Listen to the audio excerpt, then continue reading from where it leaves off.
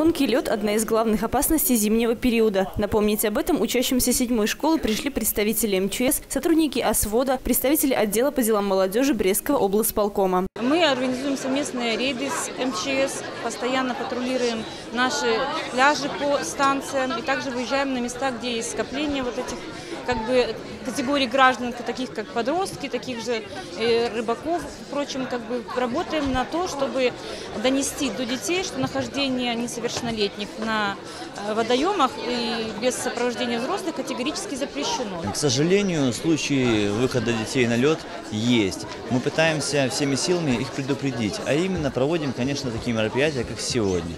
Э, все сотрудники МЧС, Э, непосредственно проводят работу на всей территории Брестской области, в школах, в вузах, сотрудничают с различными средствами массовой информации и всеми способами пытаются донести те правила безопасности поведения на тонком льду. В рамках встречи юношам и девушкам сотрудники медицинской службы МЧС провели наглядный инструктаж, в рамках которого показали, что нужно делать, если случится беда. Бывают случаи, когда на помощь взрослым приходят грамотно обученные подростки. Тому подтверждение ситуация прошлого лета. Компания ребят старшеклассников, которые были брещане, Максим Снитко и Андрей Корольчук, купалась на одном из водоемов, когда услышала крик о помощи. Люди с берега начали кричать «тонут», и мы решили уже прыгнуть в воду, поплыть. И потом увидели, то, что не девушка, и спасали ее, вывели ее на берег. Потом она говорила, то, что там еще остался мужчина. Мы думали вначале, то, что это она бред, состояние шока.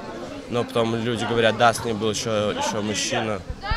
И ну, мы как бы еще отправились в поиски. Несмотря на то, что героями себя ни Максим, ни Андрей не считают, говорят, что действовали механически, подвиг их был отмечен высоко. В торжественной обстановке юноши были удостоены грамот от областного исполнительного комитета и громких оваций сверстников.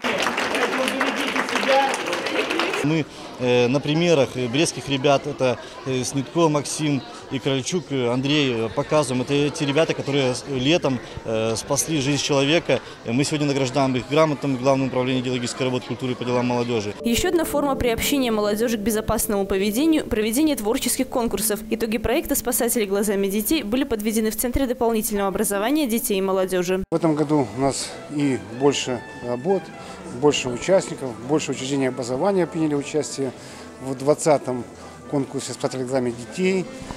Что запомнилось, то, что дети относятся с такой с душой, с трепетом, с любовью к пожарному делу, к профессии спасателя и проявляют свою, вот, э, свою мысль на бумаге, в моделях – в рассказах. Победителями номинации стали ребята разного возраста. Каждый из них имеет свое видение деятельности сотрудников МЧС. Им они посвятили свои рисунки и литературное произведение. Мне нравится тема спасателей, потому что они ну, героические, они не пойдут то есть, отступать там.